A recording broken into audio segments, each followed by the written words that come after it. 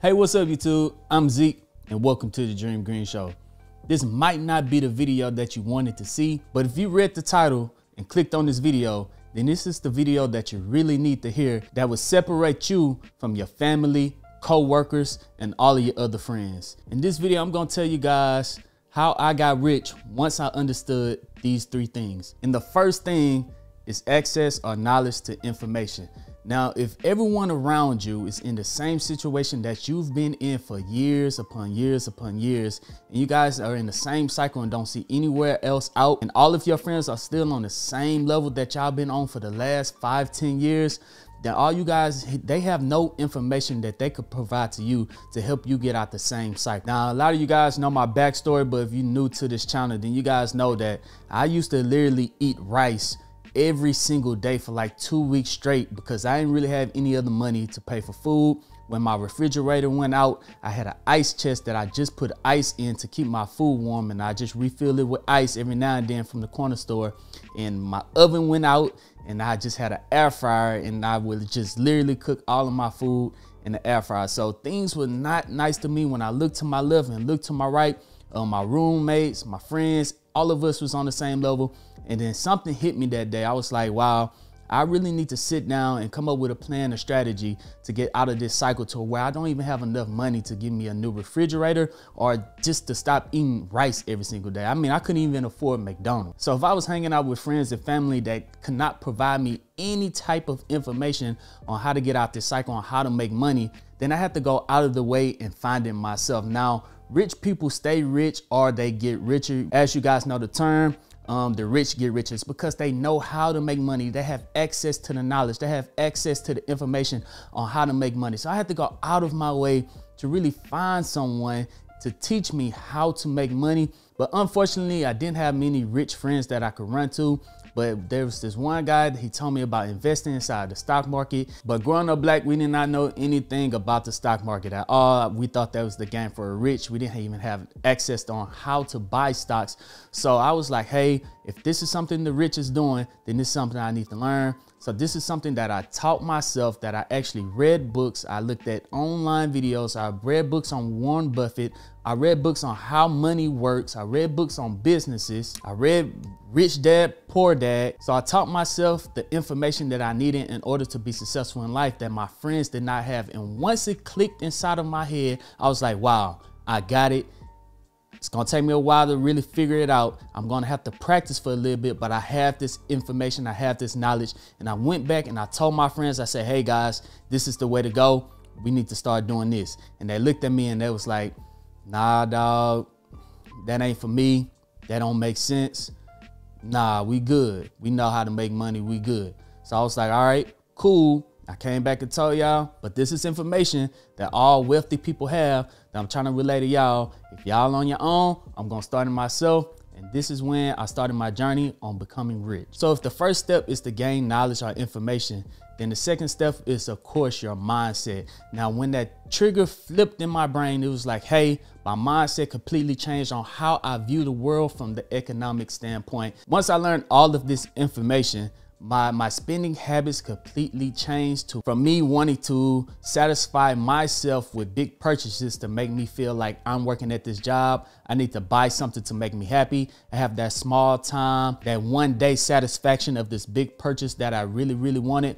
Let's say Xbox or some shoes. That one day satisfaction, I might be happy for a week, but then my mindset completely changed. Now, this is the biggest and most important step is that once your mindset changes, you can literally do anything that you want to do if you apply yourself to that subject matter. This is the most important thing, way more than knowledge. You have to have the right mindset going into anything in order to be successful. So my mindset was that I really was going to attack this and I viewed the world in a different way. So instead of me buying an Xbox 360 or instead of me buying an Apple phone, I used to have the same Apple phone for two, three years straight, and the same money that I would spend on the Apple phone, I would go buy some shares of Apple stock. So I viewed the world like this. I would not buy anything inside any store if I do not own at least one share of that company inside of my portfolio. And that one share right there changed my life completely. The very first share that I bought was Waste Management. They drove by my house every single week to pick up trash, and I knew trash was not going anywhere anytime soon.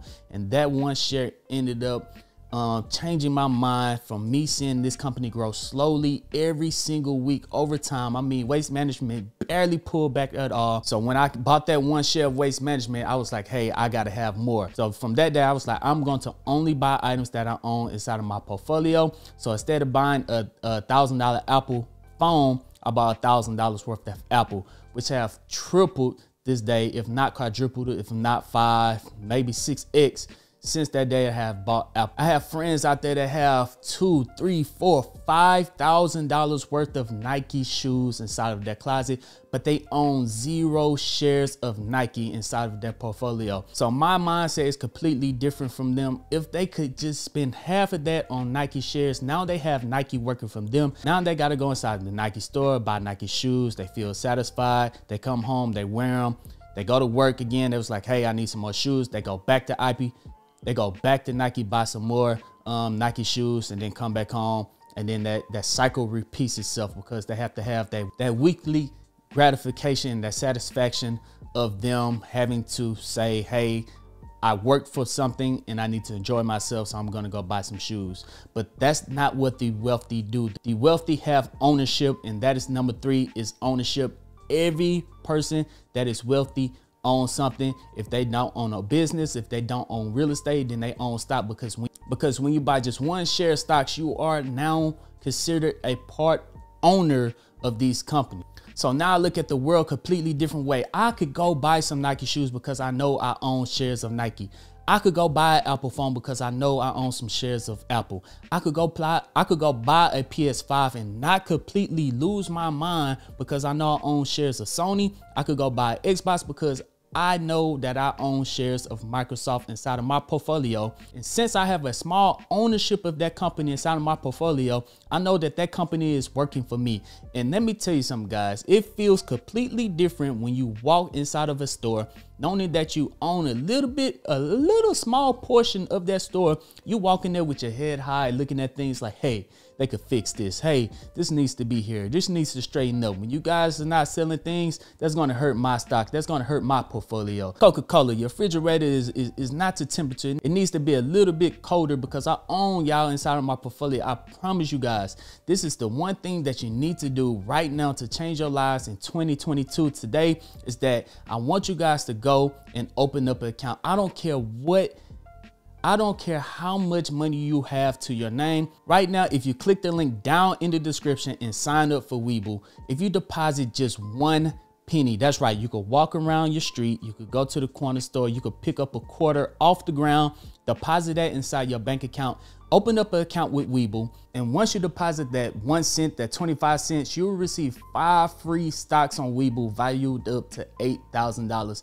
Uh, that would get you started inside of the market today. You could receive five of the same stocks, five of different stocks, but once you get started, only start to shop in or buy companies only if you own at least one share of that company. And I promise you, your spending habits will change. If you only have $25 a month to start with, fine. But I guarantee you, once you start with $25, over time, that's going to change to $50 a month because you're going to see the value of money start to change inside of your own head when your mindset change, when you start to buy these different companies. You're going to say, hey, you know what? I'm to buy a little bit of this company. And then once you see your money is working for you, you're going to start to shift from spending a $1,000 every single month on shoes to spending a thousand dollars every single month on stocks because you're going to see that your money will start to work for you and instead of you owning a depreciation asset, you're going to start to be a part ownership of these companies that could generate you wealth over long term that you could even pass on to your kids to where they would not have to work a single day in their life. So even if you do have a lot of money and you just have all of your money just sitting in the bank, let's say you got 10, 20, 30, 40, $50,000 just sitting in the bank, then they are doing exactly what they want you to do. The banks are giving you 0.005% interest on the money that's inside the bank. And the bank is taking your money, investing it inside the stock market, investing into index funds that returns them 8% annually. So while your money is just sitting in the bank, the bank is making money off of your money and then kicking you back maybe 50 cents per month just from you holding that money in that bank. While the smart investor, I'm telling you guys, when you start to invest into companies that you actually use, you start to invest into companies that you know and companies that you believe in. Now, instead of just holding your money inside of Wells Fargo, you're going to invest into Wells Fargo, which pays out dividends. So instead of you having $50,000 just sitting in the bank, maybe you take $25,000 out and invest it into Wells Fargo by buying their stocks. And now they're paying you dividends. And when they pay you dividends, Wells Fargo pay out their dividends every quarter. That means you will see four payments a year in the form of dividends that you will make more money in dividends and from their stock going up over the long period of time then you will have just keeping your money inside the bank while it sits there and depreciate over times. Now you're a part owner of the bank that you're actually using. Now that's what I'm saying. First, you have to have knowledge and access to information. So if you want to watch more videos like this, go ahead, click the uh, subscribe button down below, hit that thumbs up button and the notification bell because I talk about information like this all of the time. Two, your mindset. Your mindset have to change. Only buy stocks that you have inside of your portfolio. Start small and then grow over time. I promise you, your mindset is going to change on how you spend money. And three is ownership. Uh, wealthy people invest into the stock market and then they start their own business and then they get into real estate. Uh, it could be that three in any order. But right now, the easiest one to get started right now because you could get started with just one penny it's the stock market, guys. Don't be scared of it before you dive in. Make sure you gather as much information that you can as possible that anyone around you don't have. If you look to your left every day and then you look to your right every day, and it's the same people in the same situation that you guys been in for the last five, ten years, then something needs to change. So if you watch this video all the way through the end, I promise you that you're gonna have an amazing 2022 year if you start investing into the stock market slowly and over time and really start to understand how the world works. Because once you understand how the world works how economics works and teach yourself and gain this knowledge then i promise you that you're going to be successful over time so yes this is not an option type of video this is not buy this stock type of video oh this stock is going to do amazing things in 2022 no this is the most important thing that you guys could have watched this year is on how to change your mindset and how to wealthy think in order for you to be successful in the future, guys. So if you made it to the end of this video, go ahead and hit that thumbs up button. I really appreciate it. Don't forget to pick up your free stock, guys. But um, other than that, I'm Zeke, bringing you the Dream Green Show, and I'm out. Peace.